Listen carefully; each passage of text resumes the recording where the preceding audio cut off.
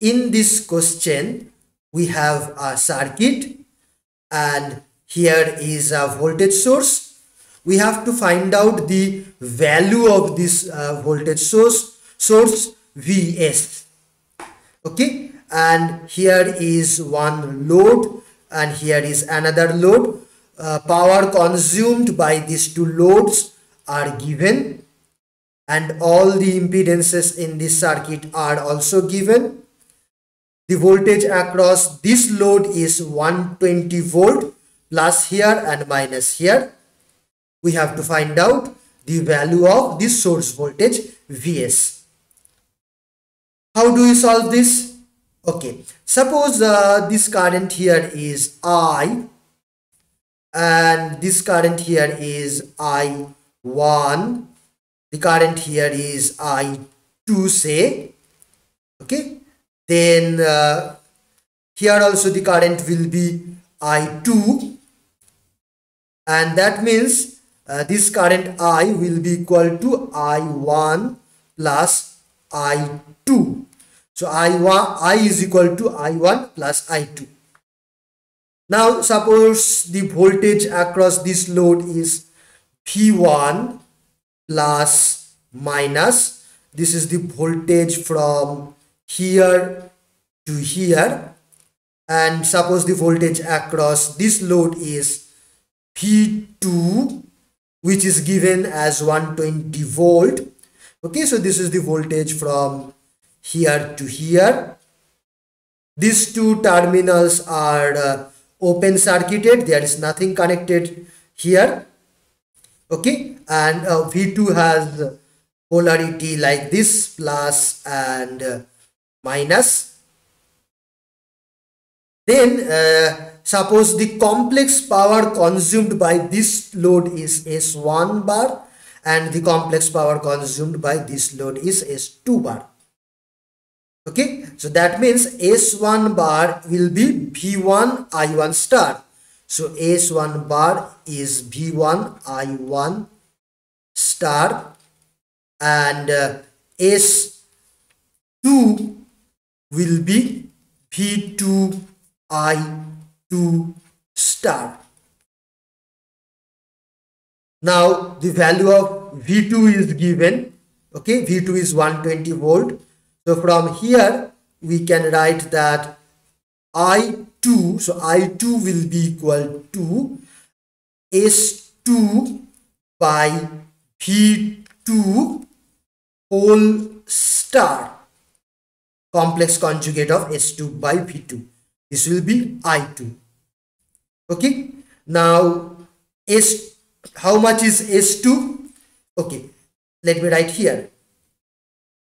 The real part of S2 that is the active power is given to be 300 watt okay so 300 watt and uh, then the this load is leading in nature that means the reactive part will be negative. Okay so minus j. How much will be the reactive part? Notice that 300 watt is basically uh, v, v2 i2 cos theta. Okay and cos theta is 0.8 so 300 by 0.8 this will be the apparent power or uh, product of v2 and i2 and now if we multiply this with sine of uh, the uh, angle of this load which will be cos inverse uh, 0.8 okay? So this this is the value of s2 so which will be 300 uh, and and this part is in volt ampere reactive. Okay? So 300 minus uh, this will be uh, 300 uh, 225 okay? If cos theta is 0.8 then sine theta will be 0.6 if you uh, calculate this will be 225 j okay? And uh, the unit is uh, dimension is basically volt ampere now s2 is known v2 is also given so I2 can be found out. Okay, you can find out how much is I2. Next, once we know I2, then how much is V1? This voltage V1 is same as uh, the voltage drop along this line plus V2.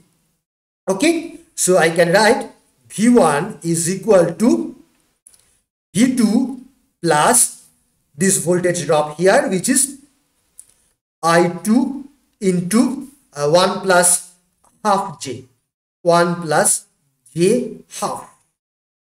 Okay, now I2 is already calculated, V2 is given. So you can find out how much is V1. This can be uh, found out.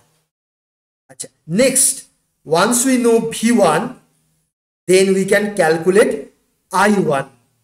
Okay, so notice here S1 is equal to V1 I1 star. So from here we can write that I1 will be equal to S1 by V1 whole star.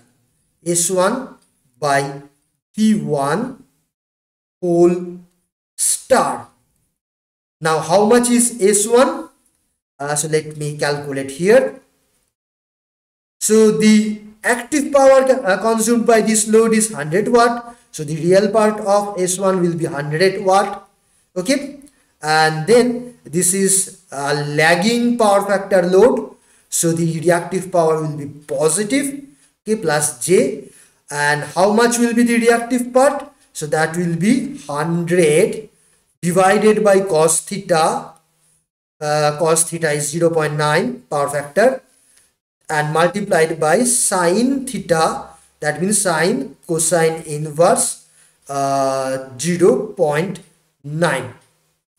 okay so you can calculate how much is this you can find out how much is s1 okay now once you know s1 then from here S1 by V1 can be calculated. So I1 will be known. Then we already know I2, we already know I1. So you can calculate how much is I. So then I will be equal to I1 plus I2. I1, I2 both are known. So you can easily find out uh, the value of I. Okay, so this can be calculated. Now once we know this current I, then how much will be this source voltage? Notice that this source voltage, this voltage is same as the voltage drop here plus V1. Okay, so then Vs will be equal to V1 plus V1 plus this drop which is I into this impedance. Okay, I multiplied by 0.8 plus j 0.4.